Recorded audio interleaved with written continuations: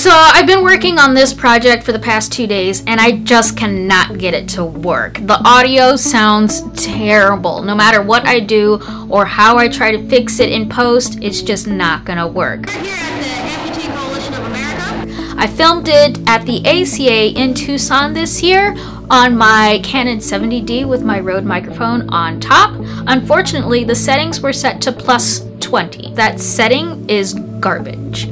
I can't get anything to work. Any of my footage that was set on that setting is just unusable. I can't share it with you guys. You, you're not even going to want to watch it. So instead, I'm going to share with you something that happened at the ACA with John Register.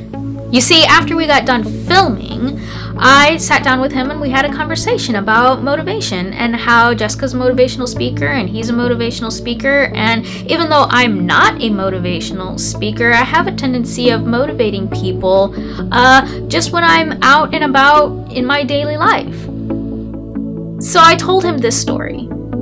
So I'm at this gas station, right? And this guy comes up to me and he's like, I just want to let you know that God has blessed me today for letting me see you. And that I think that you're so inspirational.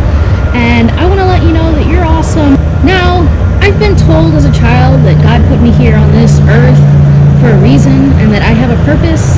And that's fine and all. But I feel like if my purpose here is to make other people feel good about themselves, that kind of sucks.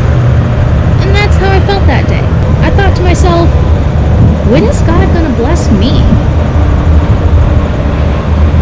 And this is what John told me. He says, sometimes you have to bleed in order to lead.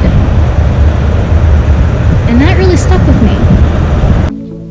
What an amazing message for him. Now, it wasn't necessarily the one that I was looking for, but it was the one that I needed. You have to bleed in order to lead. Go check out John Register because he's an amazing athlete. He's an amazing guy in general. I loved sitting down talking with him. Hopefully, he will be able to upload his podcast uh, of the interview with me and Jessica. So you'll get to hear a lot more of us over on his website.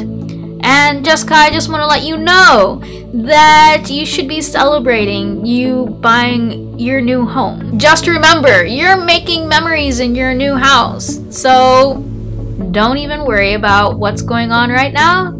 Sit back and relax. I will see you next week.